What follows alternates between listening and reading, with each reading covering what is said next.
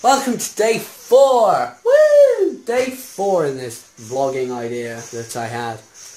How is everybody today? I know I'm alright. I've got some some sort of food coming my way in a minute. Um,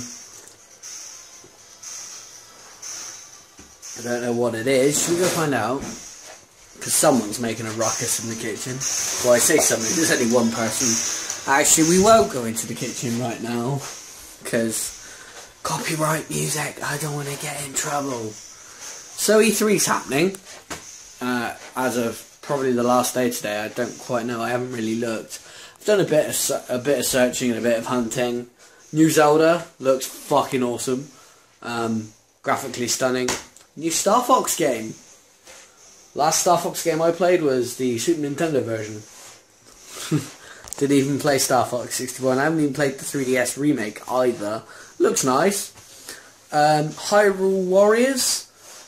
Oh, excuse me, Hyrule Warriors, and I'm going to stop walking around and just talk. Uh, pretty much Dynasty Warriors with a Zelda skin, I suppose. Um, looks nice.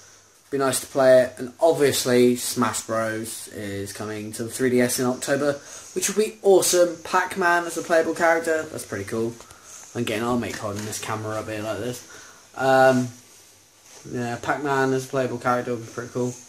Toad's getting his own game, finally, which would be pretty cool, because Toad is one of my favourite Nintendo characters, and Yoshi, so...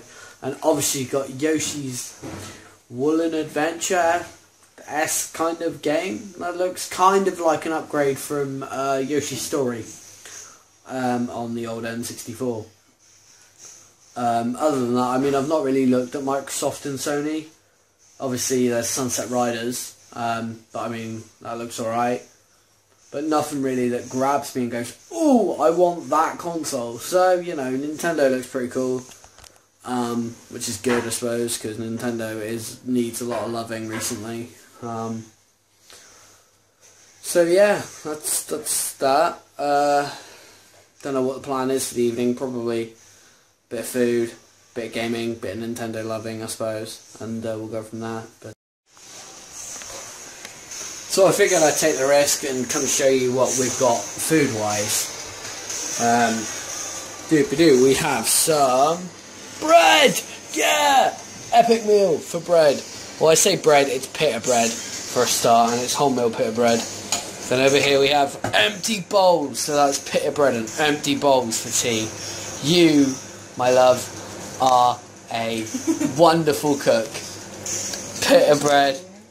Huh? So good it's invisible. So good that it's invisible. Yeah, exactly. There you go. There's the real food. Mmm. So I'm thinking with what we've got here, we're going to have some sort of carbonara. So some time has passed and I have a carbonara in front of me. And because there are noodles, I am not going to eat it in front of you, but I have had a mouthful and it does taste awesome. So, well done babe. Good job, as always. Your cooking skills are far surpassed anything I could ever do. And she's grinning away, smiling with a mouthful of food, so she Yeah. can't Because it means you want food again tomorrow, that's why. Yeah. I got this worked out, you see. If I'm nice, she'll cook. If I'm a bastard, she'll still cook. no, I won't. but, you know, I always appreciate the fact that she can cook better than I can. Because it means, well, I don't have to. I do on the odd occasion. Don't. oh. Anyway, I'm going to enjoy some food.